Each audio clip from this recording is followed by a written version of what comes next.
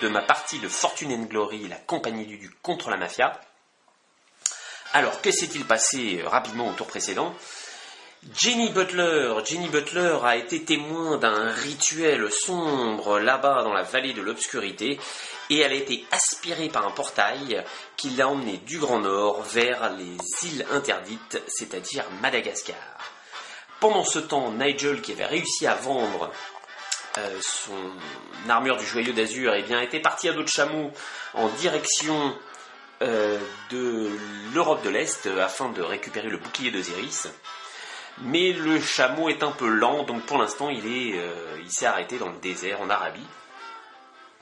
espérons que son chameau va, va récupérer et pouvoir aller un peu plus vite quand même. Peut-être qu'il va prendre une voiture du coup. Hein. Et pendant pendant ce temps, le duc, lui, a été exceptionnel puisqu'il a, euh, a réussi, euh, grâce aux indices trouvés euh, sur, dans les ruines, sur le, petit gobelet, les, incrustations sur le petit gobelet, il savait que le dernier, que l'artefact se retrouvait en Corse, donc il a pris un bateau, il s'est infiltré dans un bateau en douce, et à l'aide de la mafia locale, qui est une bande rivale de la mafia de Chicago, il a réussi à récupérer le gantelet de Farox au nez et à la barbe de Michael Hammer. Ça n'a pas plu à Michael Hammer et ça n'a surtout pas plu au boss de Chicago qui a renvoyé euh, Michael Hammer dans ses pénates. Mais bon, il s'est fait un peu tabasser, Michael, et maintenant il est de nouveau prêt à repartir l'attaque. Et pendant ce temps, Joey Smiles, lui, euh, il n'a pas chômé. Joey Smiles, il a récupéré euh, quatre fortunes euh, dans la vallée de l'obscurité, boosté par euh, l'ordre de la main sanglante, hein, qui, euh, qui est un allié en fait de la mafia de Chicago. Et, et Chicago justement, voyant que ça, ça, tournait bien, eh bien a envoyé de nouveau, de nouveau des mafieux à Shanghai pour aider leurs camarades d'Hong Kong. Et euh, accompagnant de Hammer lors de son voyage dans les Alpes, eh bien une bande de mafieux s'est installée ensuite à Venise, où ils ont pris le contrôle de tous les gondoliers de Venise, et donc, euh, et donc à chaque fois qu'un gondolier passe sous le pont des soupirs en chantant Au Sole Mio, eh bien ça rapporte une fortune de plus à la mafia. Voilà où nous en sommes.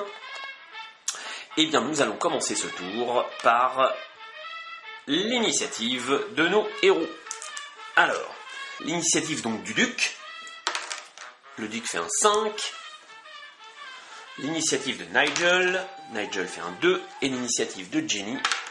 Jenny fait un 2. Donc c'est le duc. Encore une fois, le duc est exceptionnel. Euh, le duc a euh, le petit jeton de pour commencer. Donc le duc va. Eh bien là, il va se déplacer, le duc. Alors, on va jeter déjà le jet et puis le, déplacement et on va voir. 6 Le duc, le duc, euh, il a envie de foncer là. Alors, plusieurs choix donc s'offrent à nous. Plusieurs choix s'offrent à nous. Est-ce qu'il peut aller là? Non, il ne peut pas aller là encore. Euh, ici, parce qu'il faudrait... Alors ça fait 1, 2, 3, 4... 5, 6. Si, il peut passer en contournant les Caraïbes.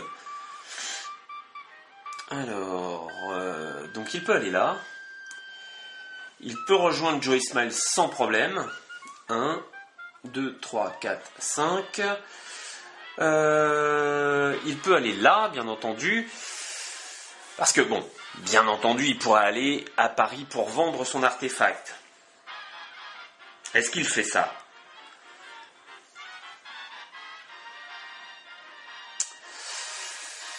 Eh bien, ce qu'il va faire, ce qu'il va faire, il va quand même essayer de se rapprocher, euh, de se rapprocher d'un artefact.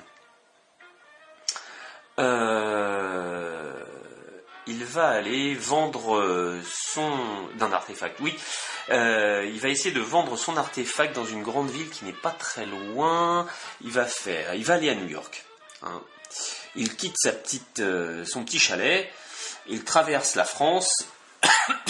il va prendre un un gros bateau, il va prendre le Normandie, hein, euh, voilà, qui va, euh, le transporter jusqu'à New York. Donc ça fait 1, 2, 3, 4 et 5. Et il va s'arrêter à New York, pas très loin de la vallée là-bas de l'obscurité euh, où était auparavant Jenny. Voilà. Il va là, le duc. Maintenant, c'est à Nigel. Alors, Nigel, Nigel. Combien il faut qu'il fasse pour arriver au bouclier d'Osiris, Nigel? Il faut 1, 2, 3. Nigel fait 4. Donc, il cravache euh, son, chameau. Son chameau l'amène en Perse. Et puis là, son chameau, euh, son chameau, il décide de plus rien faire, euh, de s'arrêter. Donc Nigel, eh bien, il, prend, il prend une voiture et il traverse la Russie et se retrouve dans les Carpates. Voilà, pour essayer de trouver ce maudit bouclier d'Osiris qui lui a échappé la dernière fois. Ensuite, nous avons notre amie Jenny qui, elle, est paumée, euh, paumée au milieu de Madagascar, de l'océan Indien. Alors, qu'est-ce qu'elle va faire, Jenny? Eh bien, elle va lancer un dé déjà pour savoir de combien elle se déplace. Et Jenny se déplace de 3. Alors, qu'est-ce qu'elle peut faire, Jenny? Elle ne peut pas faire grand-chose, Jenny. Elle ne peut pas faire grand-chose. Et c'est dommage. Euh, elle va peut-être aller en ville, Jenny, hein, pour s'acheter des, pour s'acheter un petit peu, faire du shopping. Elle a quand même six, euh, gloires, Jenny, donc ce serait pas mal qu'elle fasse un petit peu de shopping avant, euh, d'aller, de retourner dans la, dans la jungle amazonienne. Donc elle va faire un, deux, et elle va au Cap. Voilà pour le déplacement de nos héros. Maintenant, que va faire le duc? Il est en ville, il est à New York. Eh bien, le duc, on va voir ce qui lui arrive à New York. Alors, tandis qu'il flâne dans les rues de Manhattan, eh bien, quelqu'un s'approche de lui et lui donne un paquet un paquet contenant certainement quelque chose de précieux. Euh, et cette personne lui dit, écoutez, euh, nous sommes une organisation secrète euh, qui combattons la mafia, l'ordre de la main sanglante et les nazis. Et il faut absolument que ce paquet arrive sain et sauf à San Francisco. Contre ce paquet, il vous sera remis un des six fortunes. Donc le duc, bien entendu, euh, il accepte euh, de, prendre le paquet et euh, se prépare pour un voyage jusqu'au Golden Gate à San Francisco. Ok les amis, tout ce qui peut contrecarrer la mafia me convient. Je, je, j'amènerai votre paquet jusqu'à votre contact tu dis, ouais, ok, alors euh, c'est très simple, euh, c'est au niveau du Golden Gate, euh, au deuxième poteau, il vous attendra à minuit, tous les jours à minuit, pendant une semaine. Si vous n'êtes pas là au bout d'une semaine, eh bien, le contact s'en ira et vous ne pourrez plus récupérer ces fortunes. Ne vous inquiétez pas, moi je n'ai pas peur. traverser les États-Unis, je, je vais le faire en une seconde. Ok. Donc le duc se prépare hein, et, à New York, il va aller voir un petit peu pour, euh, accélérer le mouvement, euh, voir ce qu'il peut euh, acquérir comme bien pour s'équiper. Alors en attendant, en attendant, à New York,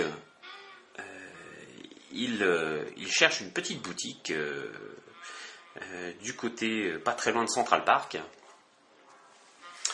il rentre dans la boutique et là, euh, un vieux bonhomme euh, avec une longue barbe euh, s'approche de lui. Ah, mais vous êtes le duc Dudley, vous Oui, c'est moi.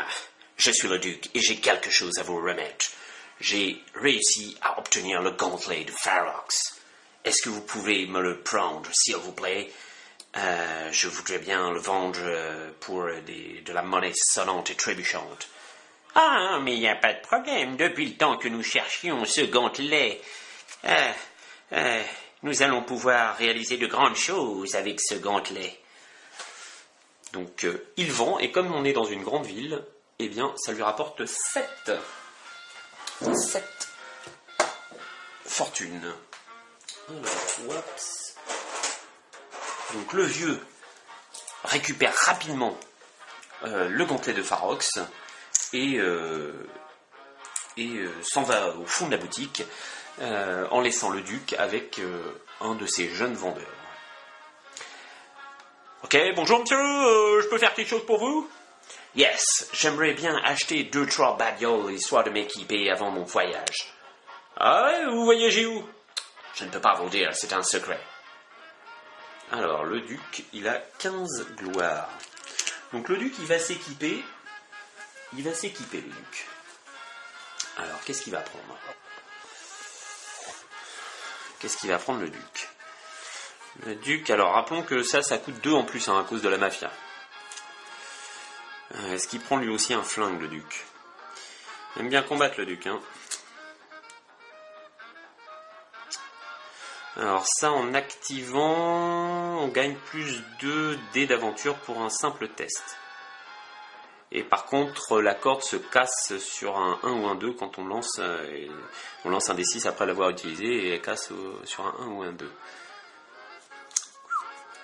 Alors, le fusil. Le fusil est intéressant. Euh, on gagne plus de dés de combat, mais pendant le premier round de combat, de n'importe quel combat, euh, les attaques sont résolues avant euh, celles des, euh, adversaires. On peut très bien les éliminer avant même qu'ils n'aient le temps de nous toucher. Et euh, ça lui ferait 5 dés de combat, c'est pas mal. Book of Lore. Ouais. Adventure Plane. 15. Oui, non, mais il n'y a pas assez, il faudrait 17. Euh, il a un beau manoir, c'est c'est sûr c'est le manoir du duc, mais bon là pour l'instant il est un peu hypothéqué apparemment, et il peut pas l'avoir. Euh, ou alors, ou alors j'essaie de me prendre, euh, ah, de me prendre un équipement.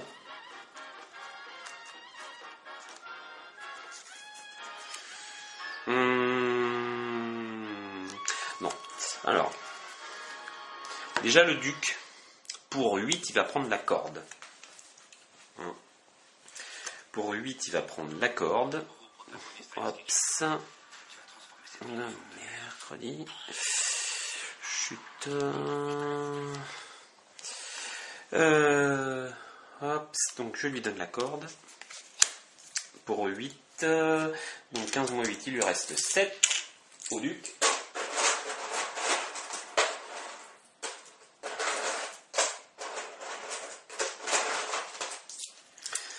Voilà. Voilà, le duc il a encore 7, gloires. Et euh, alors est-ce qu'il garde sa gloire pour faire tampon si jamais il est en cliffhanger ou est-ce qu'il essaie d'acquérir un, euh, un équipement pour 7 ou un allié? C'est tentant, c'est tentant. C'est tentant mais risqué. Il risque de tout perdre. Euh, non, il va garder ses sept, euh, il va garder ses sept gloires, le duc. Voilà, donc euh, le tour du duc est terminé. Maintenant, nous passons à Nigel. Alors Nigel, allez, il est arrivé dans les Carpates, décidé à enfin retrouver le bouclier d'Osiris.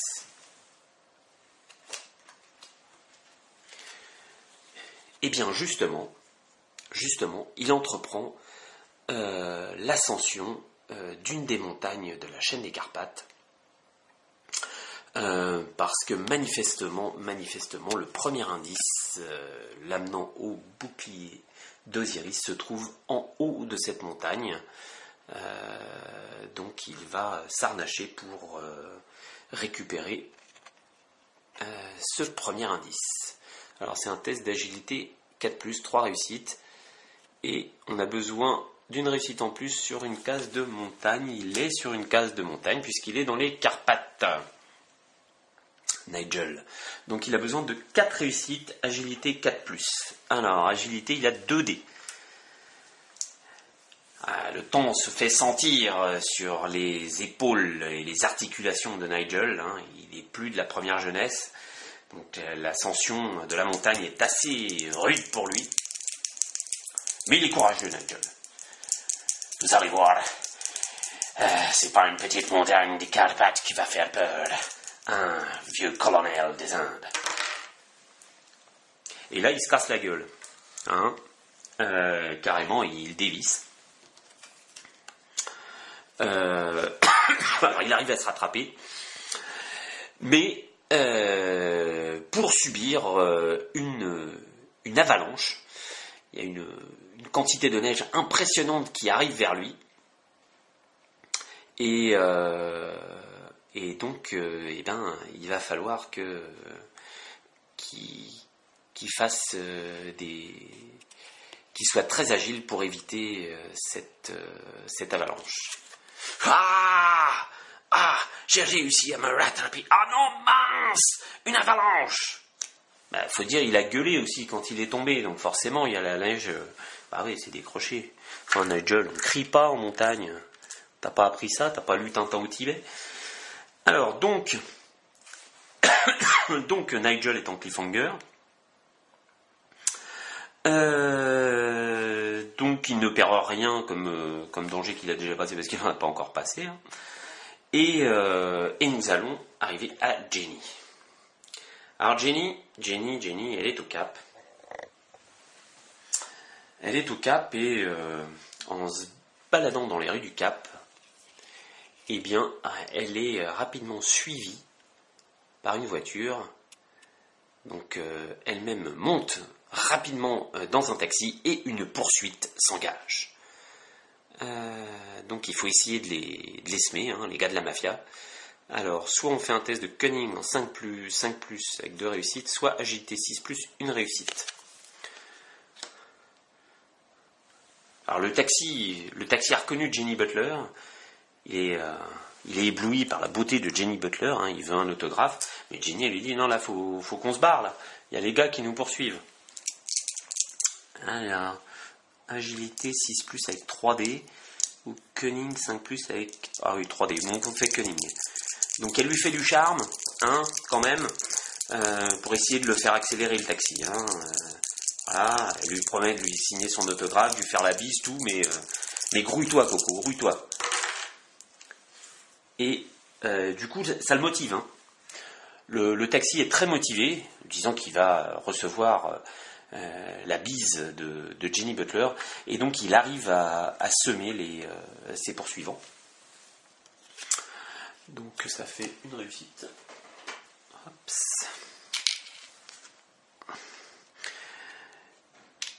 Donc arrivé, euh, arrivé dans l'allée, euh, Jenny signe un autographe au gars du taxi. Et, euh, et bah, le taxi, du coup, du coup il l'a il, il l'a fait pas payer. Hein. et il la remercie. Et puis, même Jenny, lui dit Bon, écoutez que ça se fait pas, mais pour trois, pour trois pièces, je veux bien vous faire la bise. Donc euh, voilà. Donc le gars il paye trois pièces et puis il a une bise de, la part de Jenny Butler. Il va pas se laver la joue pendant je sais pas combien de temps. Hop. Voilà, donc, euh, donc euh, vu qu'elle s'est défaite des gars de la mafia qui la poursuivaient, elle va pouvoir aller faire du shopping. Alors Jenny, eh bien Jenny avait essayé de s'équiper elle aussi euh, Jenny n'est pas très forte en combat. Est-ce qu'elle prend une arme? Elle a 1, 2, 3, 4, 5, 6, 7, 8, 9. 9. Eh bien non, elle va tenter sa chance. Pour 7 gloire, elle va prendre un équipement.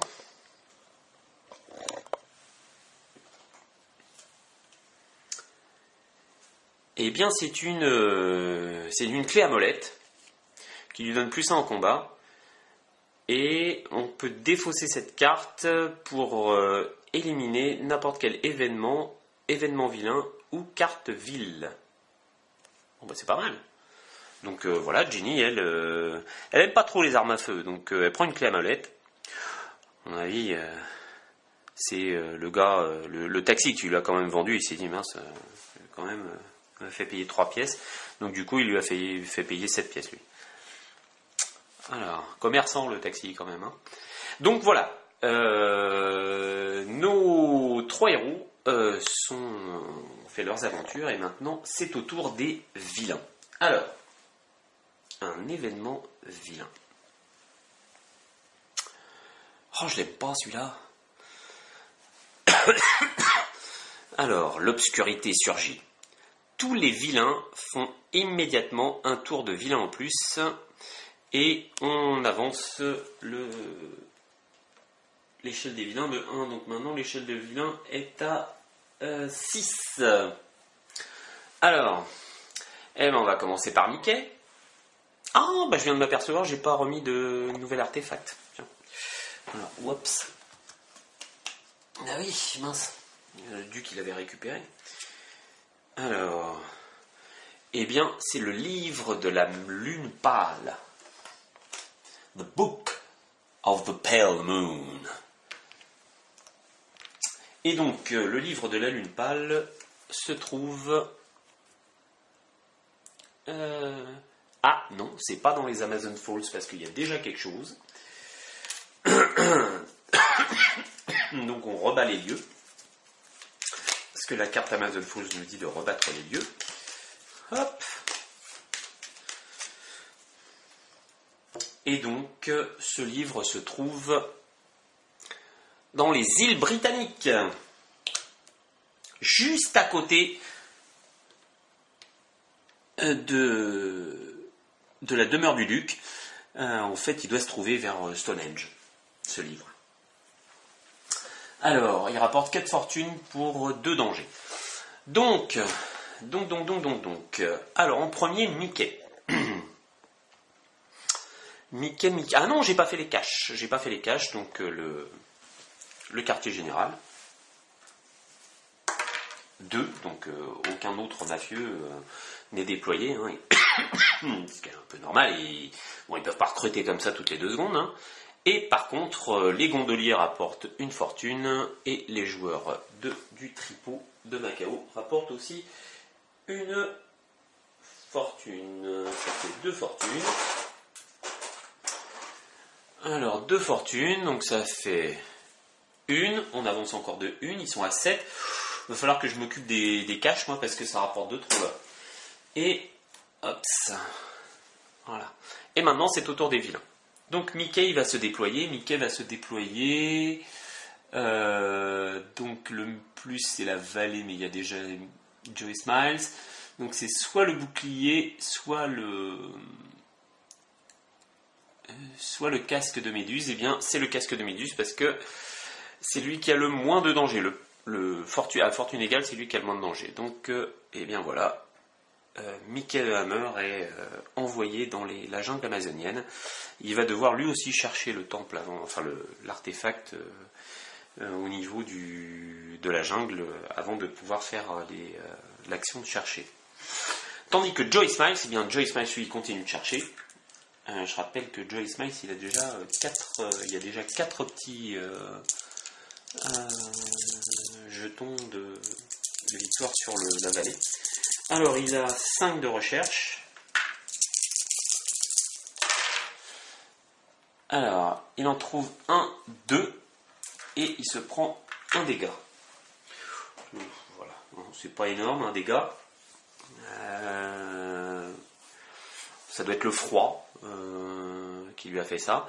Par contre, il trouve 2. Alors, en premier, un supplémentaire Hop, et donc, on retire tout, puisqu'il y a 5 dangers. Il prend son truc. Et on met un jeton de d'effondrement. Donc ça fait deux jetons d'effondrement. On lance les dés pour savoir si le temple s'effondre. Ce serait pas mal. Sur un 1, non, le temple ne s'effondre pas. Et il récupère la dernière fortune, celle-là. Donc, la dernière fortune, hop, ça fait 3, ils avancent de 1. On est à 8. Et en plus, il remporte le petit artefact. Voilà. Hein. C'est euh, l'artefact ultime. En fait, euh, euh, Joey Smiles a, fouillé partout, partout. Et il s'est retrouvé dans un, appartement. Et, là, il y a un gars qui lui a fait Mais qu'est-ce que tu viens faire ici à Sitcalis et en fait, bah, Joey Smiles a commencé à papoter avec le gars. Et pendant qu'il ne regardait pas, il a trouvé dans une boîte, il y a, plein de boîtes de rangement dans cette maison, et il a trouvé l'artefact, un super artefact, le premier jeu de société de l'humanité. on pensait qu'on en avait trouvé un qui était au British Museum, mais non, il était chez ce gars-là. Et donc euh, il ramène ça, euh, il ramène cet artefact euh, à la base à Chicago. Et donc quand on ramène un artefact, si ma mémoire est bonne, ça fait augmenter de 2 l'échelle des vilains. Ils sont à 10. Eh ben dis donc, ça fonce là. Donc, Joey Smiles, bah, il revient avec son artefact, hein. il revient prêt à repartir. Ici, ready. Waouh. Hop, ça on l'enlève et ça on l'enlève. Hop, ça. Voilà. Le tour des vilains est terminé. Alors,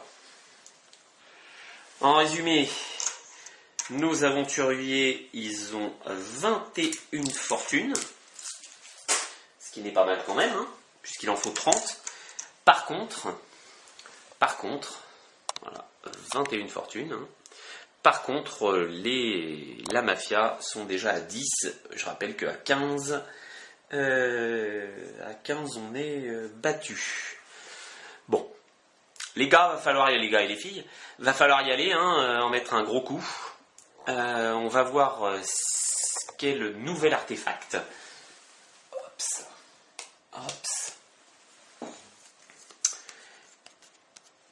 Eh bien, c'est le marteau des anciens.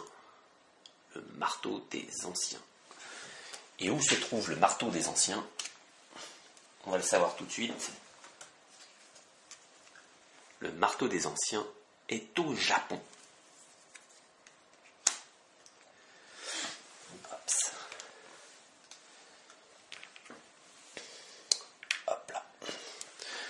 Voilà, marteau des anciens au Japon. C'est un ancien marteau de samouraï. Hein. Ils n'utilisaient pas que des sabres, des katanas. Il y avait aussi des marteaux, les samouraïs. Et donc, euh, la partie euh, continue. Mais ce tour est terminé. Donc je vous dis à bientôt. Portez-vous bien. Ciao